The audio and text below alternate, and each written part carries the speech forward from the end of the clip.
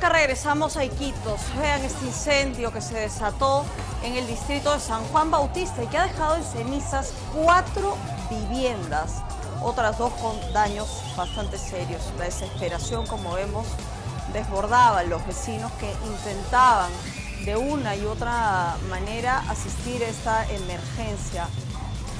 Se extendió por varios metros el fuego. En el lugar de la emergencia estuvieron, por supuesto, los bomberos, la policía y el serenazgo, que tardaron un poco más de una hora en intentar controlar este siniestro. Ahí vemos a los bomberos intentando ingresar a esta emergencia.